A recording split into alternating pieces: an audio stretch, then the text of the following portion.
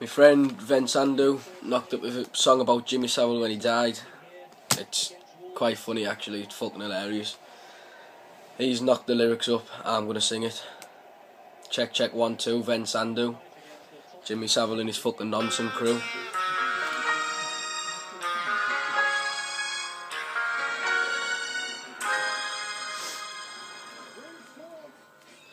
He was a DJ back in 1972 And now he's gone and dead, he said he raped a few. And if they were young it didn't mean a thing to you.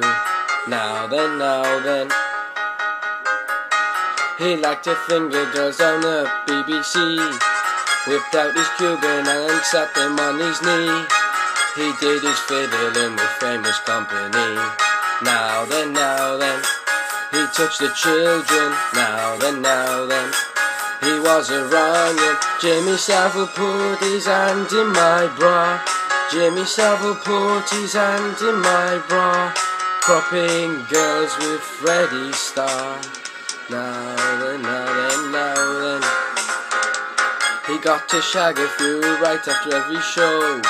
If they were over 12, he didn't want to know.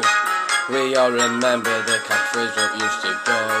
Now then, now then, that was the first one, as it happens. That was the next one. Jimmy Savile put his hand in my bra. Jimmy Savile put his hand in my bra. Cropping girls with Freddie Starr in the back of Jimmy's car. Now then, now then, now then. Now then, now then, now then.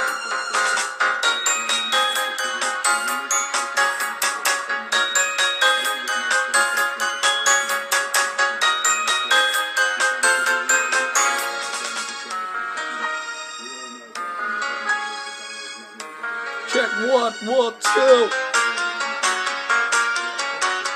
Jimmy Savile put his hand in my bra. Jimmy Savile put his hand in my bra. Dropping girls with Freddie Starr in the back of Jimmy's car. Hand in the knickers and off of the bra.